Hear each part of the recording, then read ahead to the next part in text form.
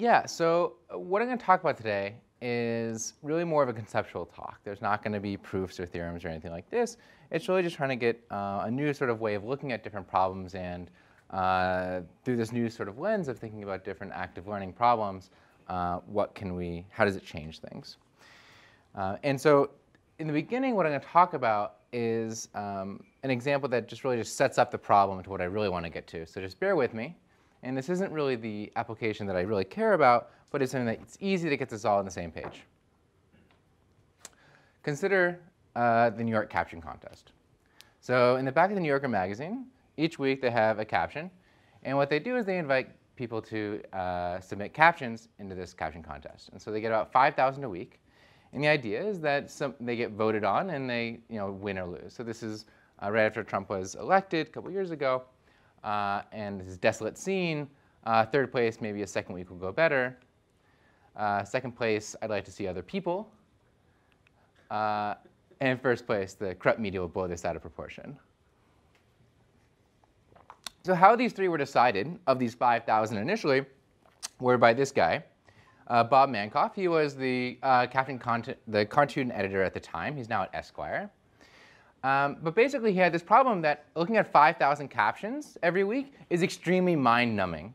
Uh, and so what they'd like to do is be able to actually have, uh, they'd like to crowdsource this opportunity. And so they have 5,000 captions submitted each week, and they'd like to crowdsource this decision of, ah, thank you for that echo. uh, 5,000 captions submitted each week, and they'd like to crowdsource this winning con this caption. Have people decide who's going to win. So how would this would look in terms of a crowdsourcing application? You'd go to this website, uh, newyorker.com slash cartoon slash vote. You see a cartoon, this week's cartoon, let's say. You see a caption. You rate unfunny or funny. Let's say unfunny. Unfunny or funny. Let's say unfunny uh, and then unfunny or funny. And, you know, if you patient, he'll grow on you. It's a potted plant. Now, the idea here is what is shown when you press unfunny or funny. What's shown next? After you press funny or unfunny, what is the next caption that comes up? How is that decided?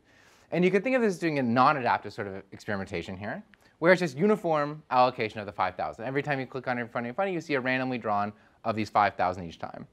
Alternative way could be an, some sort of adaptive scheme. And by adaptive, I mean that given all the votes I've seen up to the current time, I know that this caption can't, cannot possibly win in the end, so I'm going to stop showing it. Something like this. And so we can model this mathematically or as a multi-arm problem by saying that you know, we have n actions we can take. You know, which caption do we show? Where n is the 5,000 captions we can show. And then we're going to model, you know, if someone says that it's funny versus unfunny, as this Bernoulli random variable with some mean mu i. And then what happens is after some amount of time, the algorithm is going to exit or declare that, yes, I have identified the funniest caption. Uh, Bob, you can go and send this one off, and you can be done for the week. And you want to do this with high probability. So you want to find this argmax of all the mu i's. Where, again, the mu i is the funniness of the ith caption.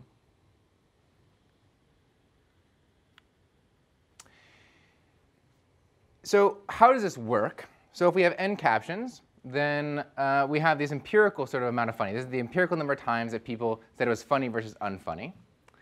And we have confidence intervals because these are finite number of times we've seen these votes. And so this average number of votes has this confidence interval.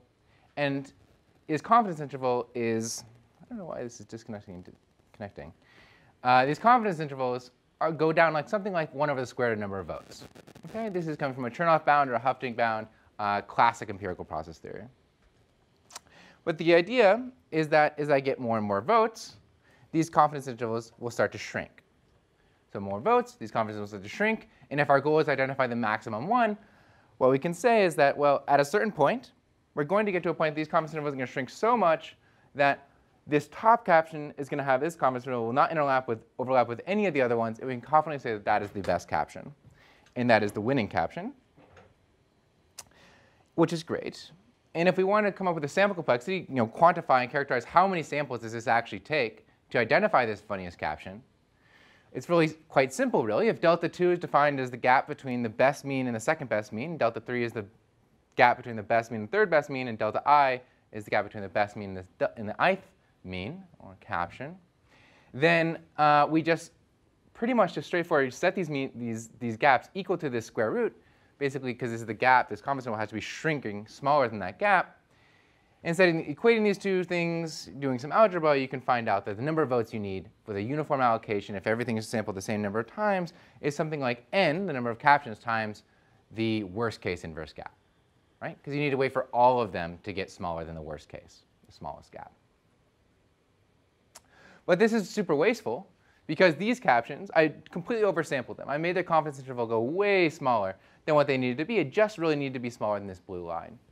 And so the next simplest sort of naive algorithm you can imagine is to simply keep sampling all the captions until one caption is poking its head above the book. You stop sampling the ith caption when its confidence interval does not overlap with any other caption uh, confidence, confidence interval. Said another way, sorry, Stop sampling the ith caption as soon as you can confidently say that there exists some other caption that has a higher mean. Okay, very simple. Same sort of analysis. You do some counting, use some algebraic manipulation, and you can show that in this case, this, the number of samples you're going to need is more like the sum of the inverse gap squared. Okay, where delta i again is the gap between the true mean of the best caption and the ith caption. Okay, so we sort of characterized in a very, very simple way in these naive algorithms between a non-adaptive, uniform allocation of n times the worst case, versus adaptive, which is the average case, uh, n times the average case, if I multiply by n over n here. But we also have this lower bound, that's just the sum of the inverse gaps. And so then it's like, okay, well, they're off by a log n. Um, so people did a lot of work, people did, you know, published dozens of papers, uh, and we finally closed it and got an algorithm that's you know, removes this log n factor. Okay, so this is an algorithm I developed. Basically, it's based on the UCB algorithm of Auer uh, et al. in 2002. And uh, it's a very popular algorithm. All you do is you define a confidence bound. It's this empirical mean plus this little confidence bound that looks like that one on the first slide. Except for instead of the log n here, we've replaced it with this log log term. And what happens here is we keep sampling the catching the highest upper confidence bound. I keep sampling, keep sampling. It has the effect of minimizing the highest confidence bound. And as we keep sampling, eventually what's going to happen is that these confidence intervals are going to shrink, and we're eventually going to have one arm or one caption poking its head above all the others. And it will continuously be sampled, and so it will be getting lots of uh, lots of reward, meaning it's getting always showing the best caption. But because it's always being sampled over and over, that's a very clear signal that that is the best arm, and we can actually declare it as such. And so, okay, that's great. We can remove this log n factor. But who cares about this log n factor? You know, why is it important? And the reason why I want to stress in this talk why we would care, say, about a log factor or something like this, is because this is not optimization. This is not, you know, analyzing SGD or SVRG or something. We removed a log factor so that now it goes twice as fast or we can now you know, not run overnight versus just in like six hours or something. This is really data collection, right? So this is saying how many fewer samples do I need? And with adaptive data collection versus non-adaptive, it really could make the difference of either measuring a phenomenon or not. And that's why caring about these log factors is actually removing real constant factors that matter. So with these 5,000 captures, log n is about a factor of 9. So you can get away with, you can get the same amount of data, make the same inferences with a factor of 9 less data. And so in, in, in real studies, so on this New Yorker caption contest sort of uh, experiment, we can routinely see gains of something like four to five times fewer ratings than uh, between adaptive and non-adaptive, um, or this log factor of uh, 9. Okay, but that's all sort of old work. You know, it's a, from 2014. That's not what I want to talk about today. It's just sort of background. What I want to talk about today is what if n is really big? Like where a log factor is just missing the point. What if n is so large that it's much larger than the total number of samples that you have? Meaning you have 5,000 captions, but you only have, say, 4,000 measurements you can make. You can only ask for the ratings of 4,000 captions. What can you do in that case? What are the kind of questions you can answer? Well, to set up this problem, you know, going down this road of, well, I only have a very small amount of data, what can I do? We know from upper bounds and lower bounds that if we need an algorithm to stop and declare that it's identified the best arm, uh, or the best caption, uh, then you're going to need something like sum of the inverse gap squared number of samples. This is what was exactly on the previous slide. This is an upper bound and a lower bound. But what about an epsilon good arm? Okay, so maybe looking for the absolute best is just way too much to ask for. What if we had, you know, our, our n means here, uh, so our 50 arms, n is equal to 50, and say there's, you know, this many good epsilon good arms. How hard is it to find one of these? Is it significantly easier? Turns out no. It turns out no because, uh, well, we reduce some amount of the sample complexity because now you don't need to have uh, the, you remove these small gaps. You don't, you know, if you only need to find an epsilon good arm, you don't need to distinguish between these top two arms because this just doesn't matter. You're just looking for one epsilon good arm. So there's some savings, but the sum is still omega n. So if n is equal to 5,000, you're still going to need something like 4,000 poles at least, and realistically more like a factor of 10 more than that. But this is super unintuitive because of this example here. This is a matching upper and lower bound. But what it says is that for the lower bound to be proved, it says that your algorithm must run for an amount of time, and then at some current time, it's going to stop and then output an arm, and it has to guarantee that it is the, you know, an arm that is within epsilon of the best.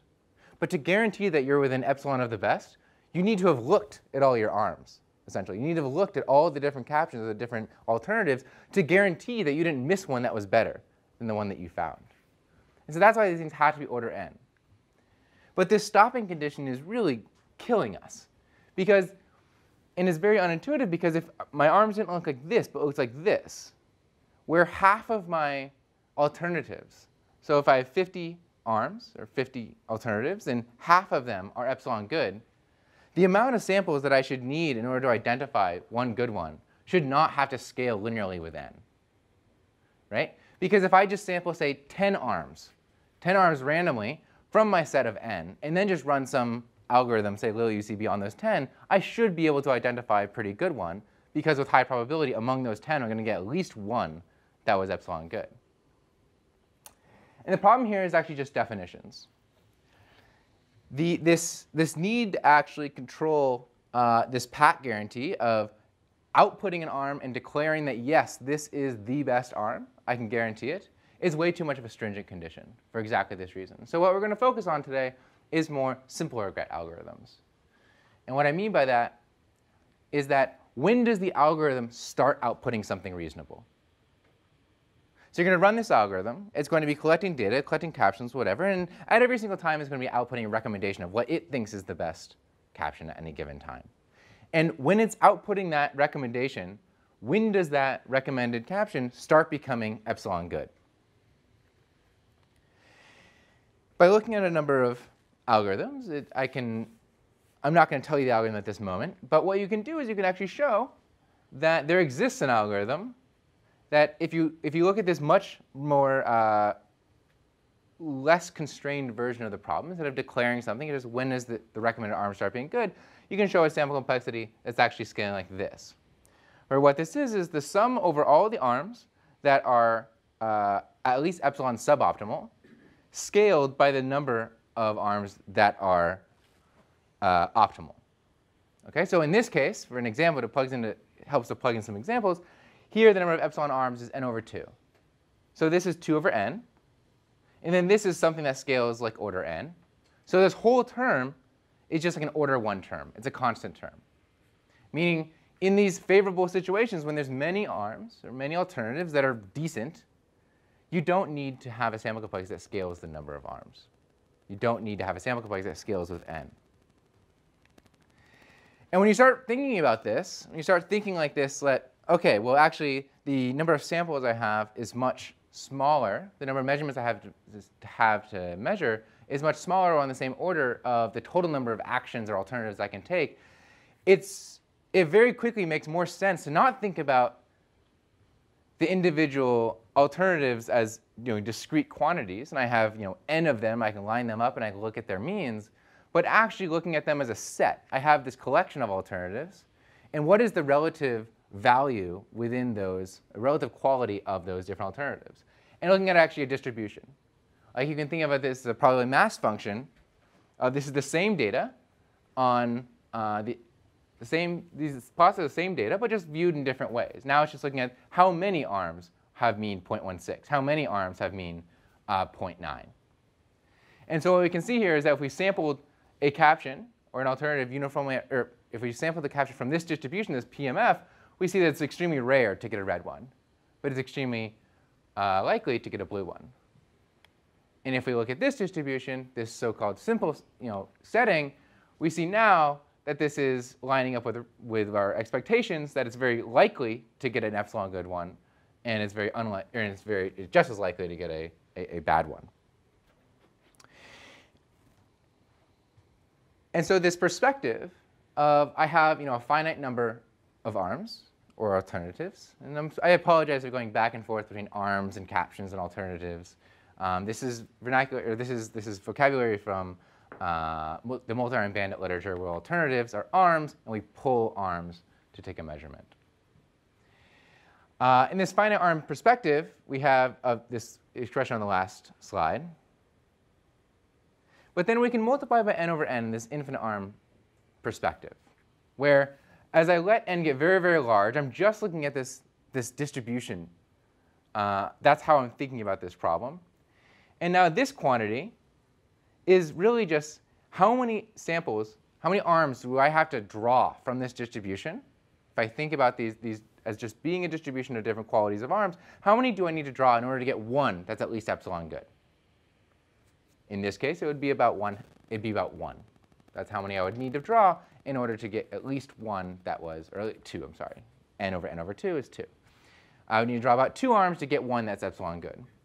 And this blue part is basically the expected number of times, on average, I need to pull a suboptimal arm to remove it or to rule it out as epsilon good.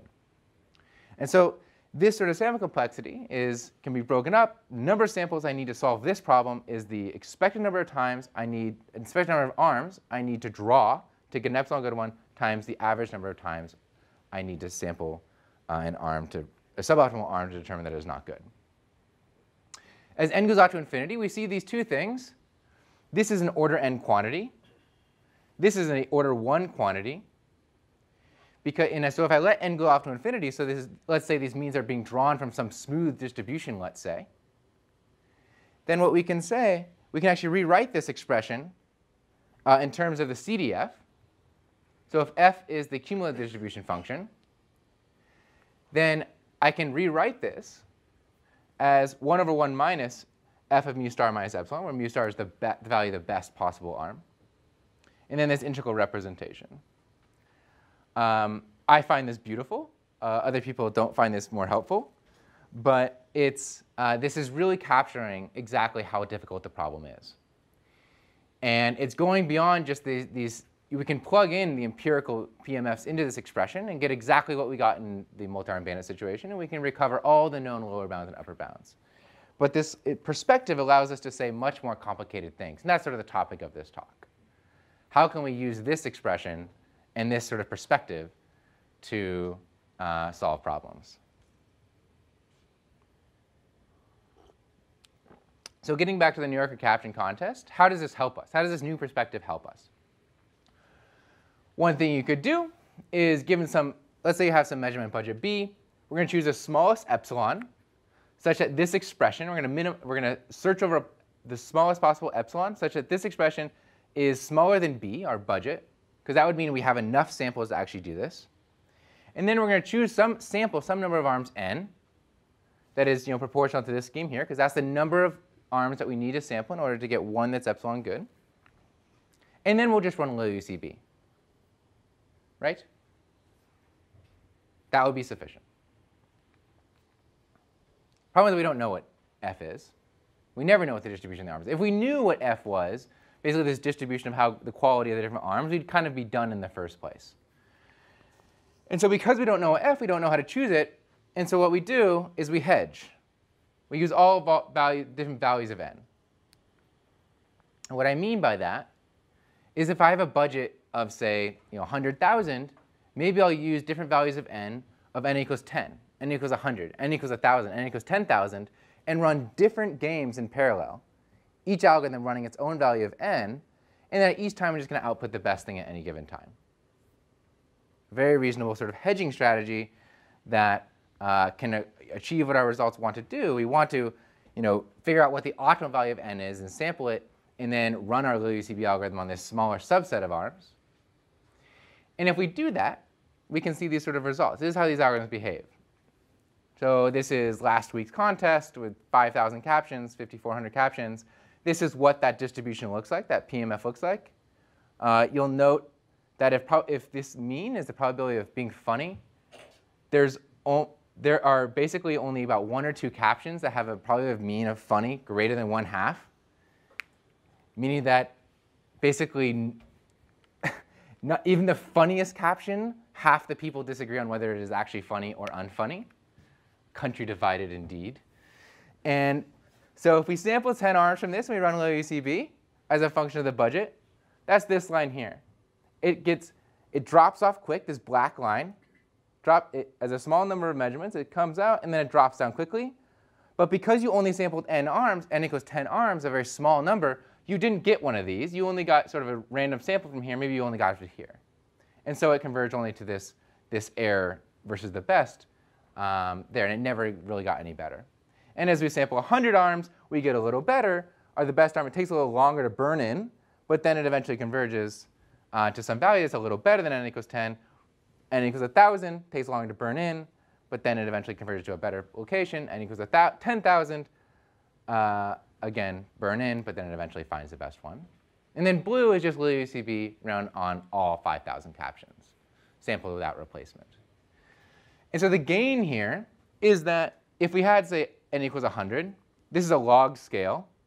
So this point right here is about 10 times, uh, yeah, about 10 times uh, fewer samples. So using 10 times fewer samples, we're outputting non-trivial estimates of this, of this you know, pretty good arm.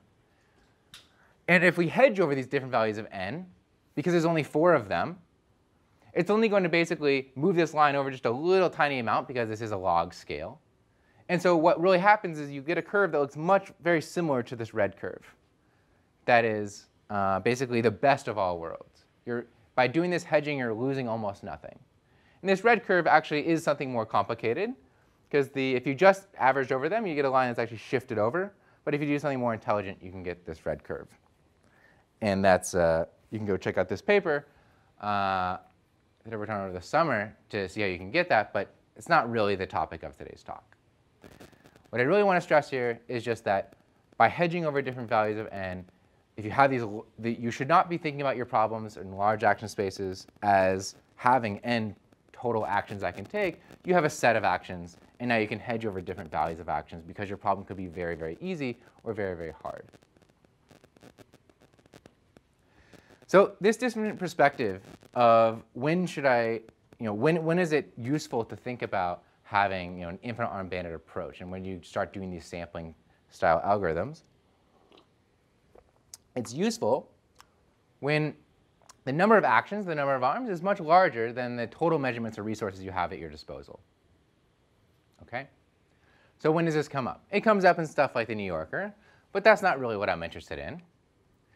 Uh, what I'm really interested in is examples with biology and screens. If you're doing an RNAi screen, where each measurement is putting into is a pipette, doing an experiment, getting some noisy measurement out. They had to repeat several times uh, to actually get a, a statistically significant result.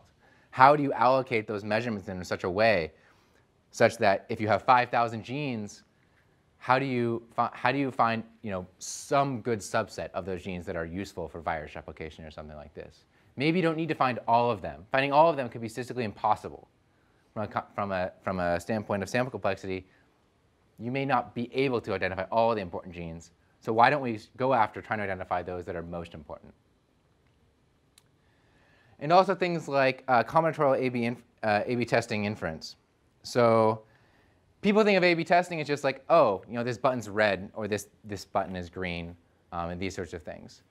But what people are often interested in and concerned about is correlations between different elements on the web page or correlations between different, you are asked to put in, you know, you are asked to see this subscription, but you like cats, and so I also showed you this other thing on some other part of the site, and then I also did this other thing on the part of the site, and how does that influence everything? Because in reality, with a site like Amazon or Facebook or anything, they're not running one A-B test or two A-B tests. They're running thousands at a time simultaneously, and all of them are affecting all of, of affecting each other.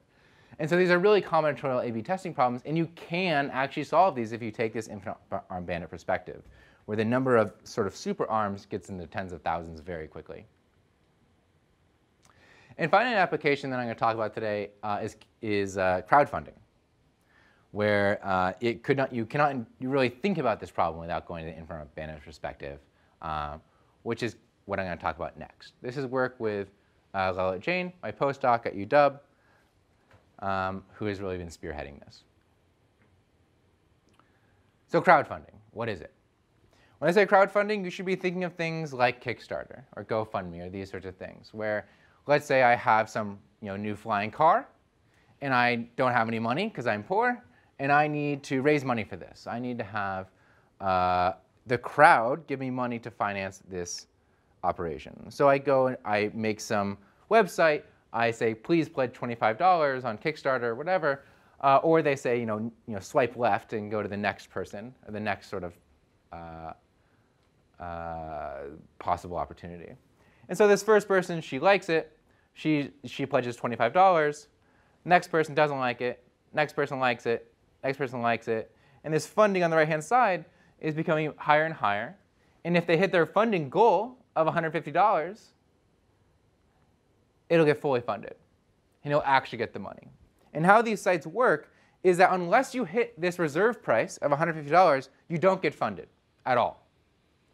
So if, if, it only, if, you, if they only got to, to here, oh,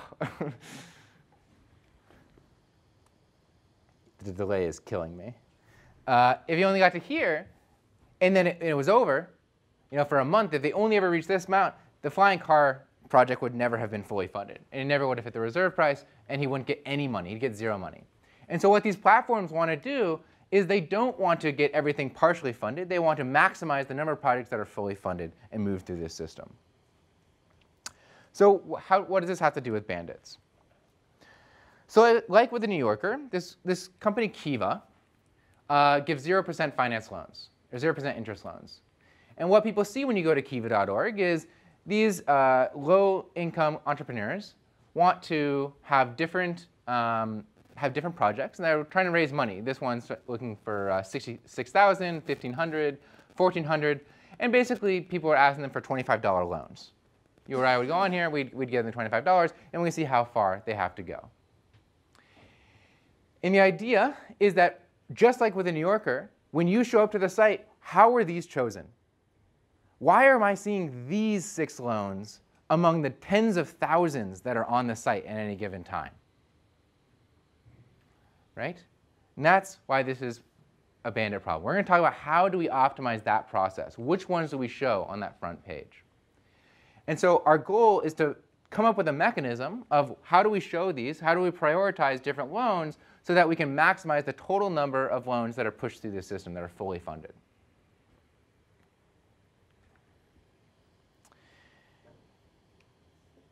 Because there are many, many, many projects. There's tens of thousands of these. Some of the projects are good, and they, they'll be funded very quickly. Some of the projects are terrible, and they'll have no chance of being funded. Very similar to this New Yorker example. There's a small number of good ones, but a vast majority are really, really bad. And because most of them are very, very bad, if you just do a uniform allocation of your, of your resources, say a random sampling of, of uh, random sampling of the projects that are on the site of these 10,000, what's going to happen is that basically all of the projects will get partially funded. Everything will get about 10% funded, but nothing will get fully funded so that this site will be a complete failure in actually getting any projects funded.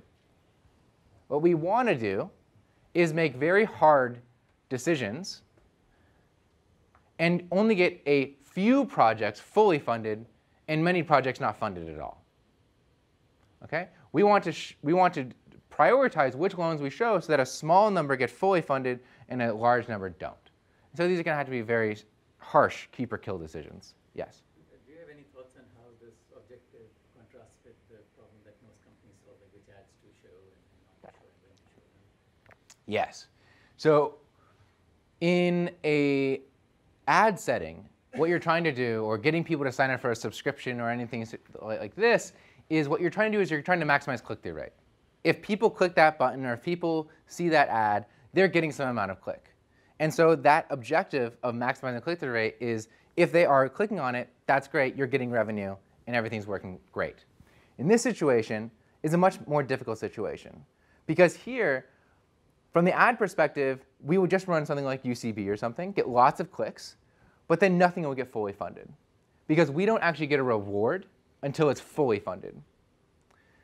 And so it's, it's much more difficult than the ad scenario because we are not caring about getting as many clicks as possible. We're worried about getting as many concentrated clicks on individual projects. And again, there's been this you know, explosion of crowdfunding platforms, Kiva, Kickstarter, DonorsChoose, Indiegogo, uh, et cetera, et cetera. Uh, lots of money in this. Um, but no one's actually looking at this. There's been tons of economics papers on this and business papers uh, about the communities and the economies and all these sort of things, but no one's really talked about how to optimize these platforms to actually maximize the total number of throughput. And this is what we cared about because the reason why we got interested in this was actually the CTO of Kiva came to us and asked us, we have this problem, we don't know how to solve it, uh, we're doing suboptimally, please help us. So these companies really don't know what to do. There is not a clear model of how to solve this problem. So, okay, to map this back to our original bandit problem, we have n projects with pledge rates, you know, mu1 through mu n. So if I show you it, what's the probability they actually click it? There's some reserve price tau, and we say the project fires uh, when it receives tau pledges. And this firing is coming from somewhat like a neuron where you get nothing, you know, you're getting nothing, nothing, nothing, nothing, and then it finally hits some reserve price and then it fires and it goes. Okay, so like we were just talking about, you know, how does this differ from like the traditional scenario? What could I possibly do? One thing I could do is I could sample just like we were doing before, sample n arms from this distribution f, because the, where f now is the pool of projects, these tens of thousands of projects that are on the site at any given time. Run UCB, run LilUCB on these, uh, on these n arms. And because LilUCB will, co will concentrate all of its uh, pulls on those highest arms, those these arms with the highest means, it will eventually start converting them. Sounds like a great idea. So what happens? So let's say we start. We, this is the true distribution of what the means are in this pool of tens of thousands of loans. Let's say we just sample n equals 200. So this is a random draw of the means from this distribution of size 200. And then we're running UCB. So in the while, you have this burn-in phase that you're always going to have until you get about tau times n. And then as soon as you get past that burn-in phase, that's when start thing, the really good ones start to fire. They get rejected. And then as, as those get rejected, they're getting removed from our active set. And so this distribution of how it actually looks over time is getting worse and worse because the good ones are already removed. And so the quality of this distribution is getting worse and worse and eventually this continues. And we eventually flatten out. We basically convert all of, the, all of the projects that we were going to convert in the first place. And now we're just stuck with these projects that are really quite bad. And the problem here, what you could say is that, ah, well, I know something about infinite arm bandits. N was too small. You chose N too small because you ran out of projects. You should have just chosen a larger value of N. And I, I heard this guy, Kevin, talking about hedging and I know how to solve this problem now. I should just look at different, I should run different parallel versions of UCB. So one with n equals 10,000, 10,000, 100,000, and then run these different versions of UCB in parallel and just look at the best one. Problem is that doesn't really make sense. Because what I was talking about before was a pure exploration sort of situation. I was just trying to identify the best one. And I was saying all we did was lose a log factor. But what's really going on if we did have n equals 10, 100, 1,000, 10,000, that's four different games being run in parallel. If only one of those is doing the right thing, that means the other three are doing terribly. So if we're trying to minimize sort of regret, or if we're trying to maximize the throughput, three of the four different games that we're playing in parallel are doing terribly, whereas only one of them is doing the right thing. And so what I've been taught with this hedging strategy and pure exploration doesn't really translate into this regret minimization or reward maximization game. The trick here is to realize uh, that the flips of one coin, or project, I'm modeling projects as coins, the flips of one coin tells me nothing about the other coins, right? The only reason in multi-arm bandits why we look at all the different arms, why we would never just sample one arm, you know, and then decide to stop pulling it at some point, is because we don't know what else is out there. But in this case, in this infinite arm bandit setting, everything is IID. So what we can conclude is that there exists some optimal policy that just looks at a single coin at a time. And looking at the flips of that one coin, it decides when to stop or keep sampling. And so what we can do is turn this into a policy search, where a policy, where we have these coin flips. So if we have a total number of flips, if x of t is the number of heads that we've seen so far after t flips, it's, it's a monotonically increasing sequence because it's the total number of successes or heads we've seen. And as soon as it hits tau, it will fire. But a policy, I don't know what's going on with this. Yeah, sorry. I think this clicker is running of battery or something. Uh, a policy is defined as keep flipping the coin until it crosses this policy line. And so if the coin go, if its number of heads goes below pi of t, then you're going to throw it out. If it doesn't, keep flipping it until it hits tau hits. And a policy is just any monotonically increasing function. And so if we have these kind of functions, we can optimize over them, and we can find which one is going to translate into the most uh, project throughput. So different policies, they can look like this. They look like different lines. Uh, they can look like quadratics. I mean, it doesn't really matter what these shapes look like. Uh, or they can look like you know, just a vertical line, where basically it's you have 20 flips. If you flip 20 times and you haven't hit tau yet, then you, you move on.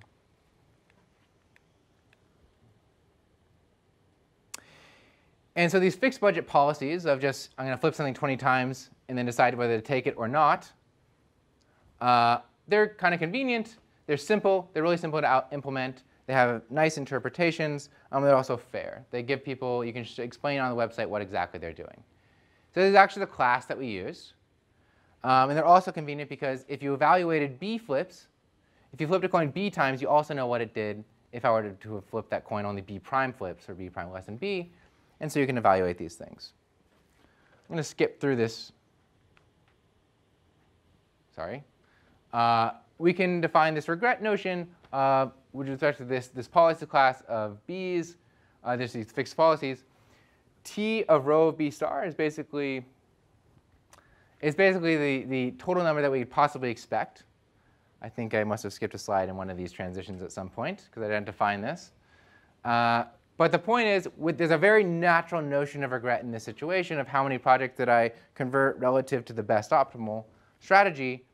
Uh, and with a very reasonable algorithm that's quite complicated uh, to describe here, you can get this asymptotic, or not asymptotic, this finite time or guarantee on that if you optimize over these policies, you can uh, basically compete with the optimal thing in hindsight.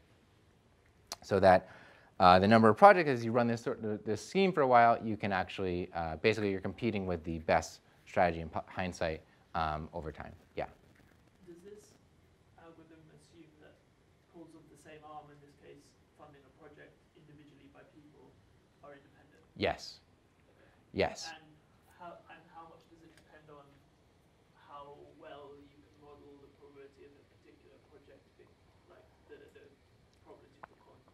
Yeah, that's a great question. So you're asking, you know, people are coming to this site, they're, they're answering these queries, they have all this other information allowed that they're looking at. Uh, is it very reasonable to say that these coin flips are actually um, IID and uh, is this a decent model? Uh, the answer is no. Uh, we can see over time that actually showing people how much this, this, this uh, loan has been funded so far is an enormous signal um, an enormous predictor of what they're going to be if they're going to label this thing or if they're going to fund this thing or not. So it's, it's a very naive model. Um, but even with this extremely naive model that where all the model assumptions are essentially wrong, we can still show that this algorithm behaves very well. Um, so even under these very uh, poor circumstances. Um, and so this is just an empirical plot of, uh, this is run on historical data that we sort of replayed on. This is what these means look like. Again, you know, 0.15, which is actually a huge click-through rate um, for these sort of things. It's surprisingly large. Uh, and orange is our algorithm. You know, we're beating all these UCB strategies that they have this sort of burn-in time, of course, if n is too big, and then it starts getting good. Um, but then it will also eventually level off. Okay, so this algorithm does actually work. Uh, and we are implementing it at Kiva uh, with them right now. Um, and so it's great. You know, we get to get this, uh, this nonprofit um, some help in actually maximizing this throughput of this system. Yeah. Um, having a random selection of these projects like seems like uh, like very naive, but there yes. seems to be like there could be a middle section where, for instance, you just show projects based on the percentage of funding they've achieved and the time they've left. Like, is it? Mm -hmm. Is I'm just like wondering, like, is random like a fair baseline to compare these algorithms to, or is there like a heuristic? Yeah, that's a great question. So, yeah, I think that uh, random is a very naive baseline. Uh, you could come up with different prioritizations, you know, some heuristic of, yeah, the amount of it has been funded or some other, you know, some hotness sort of metric, and then prioritizing, ordering them that way. Uh, this is actually a heuristic that Kiva uses, something like this. Um, and we, we've actually replayed on their data versus our data, or versus our algorithm on their own data. And uh, we've shown that we can actually beat those heuristics. And the reason why is just because like we're optimizing for something. We're going to do every little thing we can to actually maximize this thing. Uh, whereas they have a fixed policy that might not behave very well. But yes, there's certainly things that we're missing and leaving on the table. Okay. So all these examples, as we've just been talking about, uh, rely strongly on stochastics, meaning that we, have, we can build confidence intervals, they have coins, these IID flips, and so we can rely on Chernoff bounds and Hoeffding's inequalities, these sorts of things. But sometimes we don't have such a predictable convergence rate to the true mean.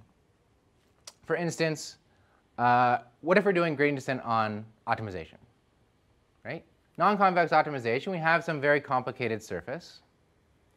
And one way I like to solve this problem is by just random restarts, right? You uniformly at random pick some point in the domain. This, you, the kth one is some point in the domain, and then you just run gradient descent for t iterations. Everyone's very familiar with this. OK, I'm going to stop using that. Uh, everyone's very familiar with this. What you'll see is plots like this. For each one of these choices of k, you do this many, many trials. And what you see is that these, they, they have initial progress, and they slow down, and they converge to a local minima. Right? And what we like to do is be able to identify, well, you know, these things are converging to a local minima. These things, you know, as I have these sequence, sequences, theta k is converging to something, but it's not a mean, right? It's not, it's not an, an empirical process that is an unbiased estimate each time. I'm taking the average of these coin flips. It's all we really know is that if we keep running this thing as t goes out to infinity for each of the kth repetition, it will converge to some limiting value. And what we can do, actually, to map this back to the problems that we've been talking about this whole time, is that what we've done is we've placed some measure over our starting conditions, right? We're uniformly at random starting these k uh, repetitions uh, in 0, 1 to the d, and then we're running them for t iterations, and they're eventually converging to something. So by having this uniform measure over the domain, that induces a measure on the limiting values that they see. And if we interpret that of the means that we've been talking about this entire time, we now say we can have this actual PDF or uh, this distribution over these limiting values, just as we had a distribution over the means. And now, of course, there's no finite number of means that we have. There's no finite number of starting positions. It's infinite. It's uncountably infinite. And so how do we trade this off? How do we trade off the fact that, you know, how, trade off the number of iterations we go to versus the total number of repetitions that we have? The real trouble here is that we don't know how quickly these things converge. We don't know the rate at which each individual function evaluation, this f of theta k at time t, converges to its final value. They could be different, but we also just don't know them. You know, we have bounds, uh, we have theoretical bounds on these quantities, but they're extremely loose and not useful for practice. I don't think anyone in this room has ever used you know, a, a, bound from Nesterov to actually use a stopping condition. I mean, you're just using some heuristic to stop. So you can come up with a different algorithm. To deal with this, can we, can we deal with this unknown convergence rate? And the answer is yes. It's a very, very simple algorithm. I've used it in a number of different works, analyzed in different settings because it's just so beautiful and so simple. You don't need to read it. What it is, if I have a budget, I'm going to have, I start with some budget and I flip, or, and I, I run everything for t iterations. Okay? I have my n guys that run each one for t iterations. I look at the best half. I let them go for another so I, sorry, I sample, I run for t iterations, I, I throw out the worst half, and the ones that survived, I run for twice as long. And I throw out the worst half, I run for twice as long. Throw out the worst half, run for twice as long. This ratio of throwing out a fraction and going for that inverse fraction twice as long for that many more steps is this very beautiful uh, process. And you can prove that it has this amazing property that this is eventually going to stop. You're eventually going to get to one alternative, and you can show that if your budget, the initial budget that you started with, is greater than this very disgusting looking thing, then and your n, the number of arms that you started with, is bigger than this, which should look familiar. It's just 1 over the 1 minus thing, the condition on n before, because now we're minimizing and not maximizing. Sorry for the notation change. Then we can get that we're returning an arm that's at least epsilon good. And what's important about this is that we didn't need not, did not need to know gamma. We just need to pick n. Well, how do you pick n? This is a pure exploration game, and we can do the same sort of hedging that we did before. Try different values of n. For, for a fixed value of b, we try values of n that are equal to, say, b over 10, b over 100, b over 1,000, etc. Uh, there's exceptions for that paper that I referenced before in the stochastic setting where you can do much, much better. Now I'm just going to fly through this. I've only got a couple minutes left. Uh, everyone in this room knows about hyperparameters and how much of a pain it is to actually tune them. And hyperparameter tuning is a lot like uh, gradient descent. It's a lot like gradient descent with random restarts. Because instead of the, the descent function, what we're actually evaluating is the test error on these uh, descended uh, hyperparameters. And the problem is that evaluating these things is very long. It takes a very long time. It can take weeks to evaluate a current model if you're training from beginning to end. And so if we have parallelism, we can evaluate, say, k at the same time, but that still doesn't really help because if you have, say, uh, 10 hyperparameters, then to cover this space, you're going to need an exponential number uh, in the dimension uh, of, of evaluations, meaning the number of, if you have 10 hyperparameters, you're going to need something like at least you know, 2 to the 10 uh, different models or different settings of hyperparameters to actually evaluate all the corners and everything. And so what you can actually show is that you know, random search is actually pretty competitive with these Bayesian optimization schemes in this regime where the number of hyperparameters is very large. And what you can do, once you have this conclusion that random sampling is actually pretty competitive, meaning within a factor of two or three, then what you can really just focus on is speeding up random search. And the way you can read up, span, speed up random search is exactly by these early stopping techniques. Exactly what we've been talking about with uh, this gradient descent and all these sort of things, using these uh, success of having this run for some amount of time, throw out the worst half, run for twice as long. And what these algorithms look like is this would be non-adaptive. This is asynchronous running. This is non-adaptive. You're just, uh, once you're done, you start over and start from the beginning. And this is 10 workers working in parallel. But then what the adaptive algorithm will look like, instead of two, you know, running for some amount of time, throw out the worst half, run for twice as long, we can parameterize this with eta.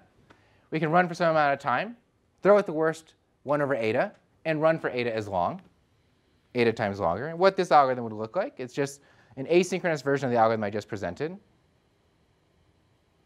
Would look like this. And so this is this the same, there's non-adaptive versus adaptive on the same time span. They got the same amount of time with 10 workers. And the point here is that because we're doing a very, very aggressive early stopping, we're only letting 1 over eta of those through that got past this point. We can see that uh, it can look at basically 92 configurations versus 16. And so if this aggressive downsampling is OK, then we can get this huge gain because we can look at a lot more and we can get a better observation at the end. OK, and so uh, we've evaluated this sort of scheme on a number of different data sets, uh, a ResNet versus non-adaptive uh, with 50 workers, another ConvNet, an LSTM uh, with 20 workers but 125 CPUs each. Um, for LSTMs, it tends to work very well, actually, uh, with, with this particular setup, actually, because um, in these sort of models that we observed that basically you either hit a good hyperparameter setting or you don't, and there's not much signal of being close. And so you have to, do, you know, there's not much thing better than random search. Uh, we also compared to Vizier, which is Google's internal hyperparameter service that also has, uh, that uses some Gaussian process optimization, much like it's basically a professional version of something like uh, Spearmint or these sorts of things. Um, and what we see that is competitive with us. We have these different versions of brackets, but ignore those. Just look at Hyperband. This is this dark blue line. And so we're actually uh, beating Vizier over five trials in this PTB dataset, this LSTM dataset.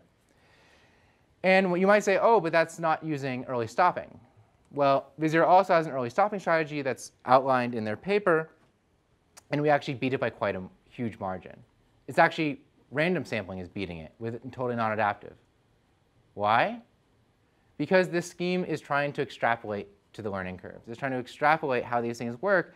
They became confident in incorrect belief. They fit the lines incorrectly, and they have extremely large variance. And so sometimes they did just as well as us, and sometimes better, and sometimes far worse. And the question becomes, you know, when you're running this on your data set, how do you know if you're one of the good ones or the bad ones? We also compare it against Fabolas, uh, where there's a big backstory to this that I'm not going to go into. Be happy to talk about it offline. But we win on a number of data sets. We're not a new idea. Lots of people looked at this. What's new in this work is that we, uh, previous works explicitly model convergence behavior. We're completely agnostic to it. And this is what allows us to have these big gains. Um, so that's all I really want to talk about today and try to give you a conceptual overview of if we think about these problems not as having n large number of alternatives and how do we identify them, but if we have these large action spaces, we should really be thinking about these as a distribution of actions and that we're really always trying to find you know, a pretty good one. And sometimes problems are very easy, sometimes they're very hard. And if you have a large action space and actions, your true problem, this true sample complexity, should not ever scale with the number of actions you have. It should scale with the true intrinsic uh, dimensionality or difficulty of the problem. Okay. Thank you.